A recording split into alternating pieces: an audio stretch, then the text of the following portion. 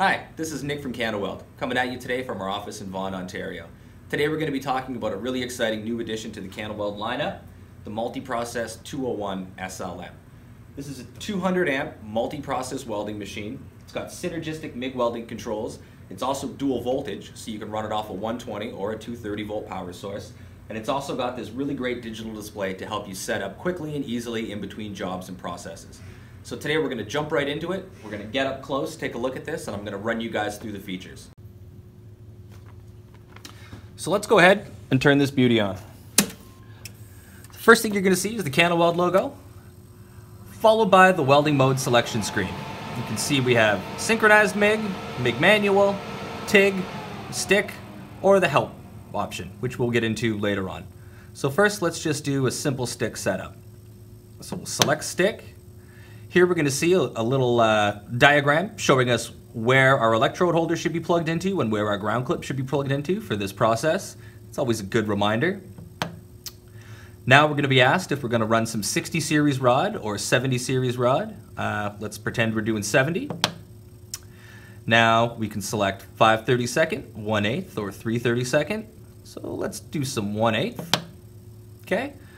Now, what kind of thickness are we going to be working with? You just adjust the dial here. You can see it displayed in millimeters. Um, you can also have this displayed in inches if you prefer. We'll show you guys how to switch that over later. So let's pick some quarter inch, select, and here.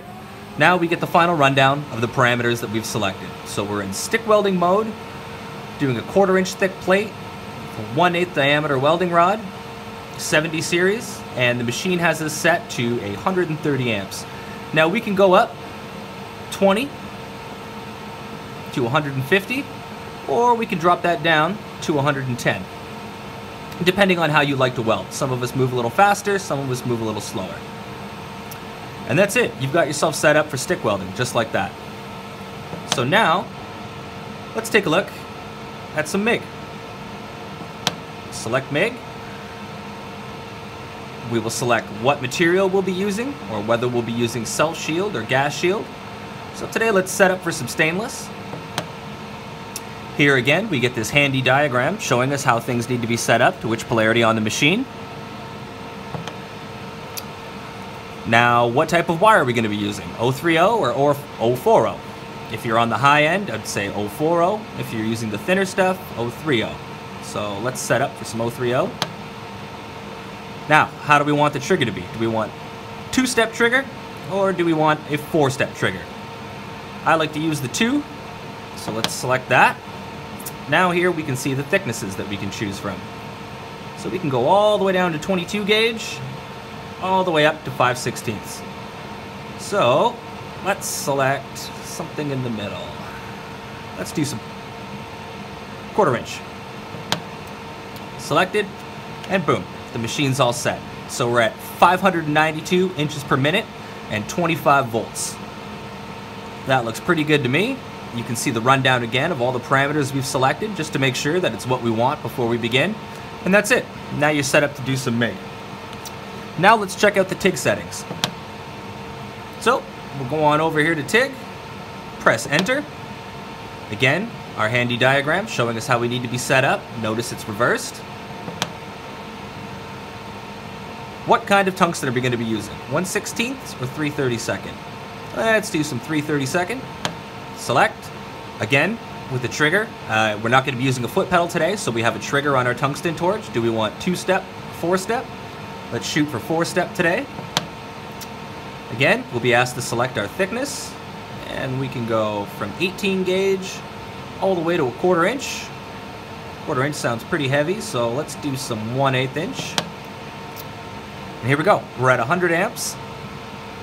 TIG, four step, using argon gas with a 332nd tungsten, 1 H of an inch thick steel. And we can also, if we want to, adjust our post flow over here. Okay, shouldn't need too much. Let's put it for four seconds. And now we're ready to go. The last thing I want to show you guys is the help menu. So let's go on over here. And here, in the help menu, you can change your units. This is something uh, some people appreciate because not everybody likes to work in inches and not everybody likes to work in millimeters. So we've been displaying in inches. We can set things over to millimeters over here. Let's go back into that help menu. Let's ask this machine for some help. What comes up right away? That is the contact information for our head office in Vaughan. You can see the phone number, the fax, the email, as well as our website. This is so that if you guys are having an issue, you could reach out to pretty much me directly and we can help you out right away. Something that we strive to be the best at here at CanaWeld customer service and customer support. We're always here to help you guys out with your issues and we love solving problems, especially welding problems. So in the meantime, guys, thanks a lot for watching. Don't forget, if you like what you see, hit that subscribe button down below. And you can also follow us on Facebook, Instagram, and Twitter. Until next time, stay safe out there and have a lot of fun.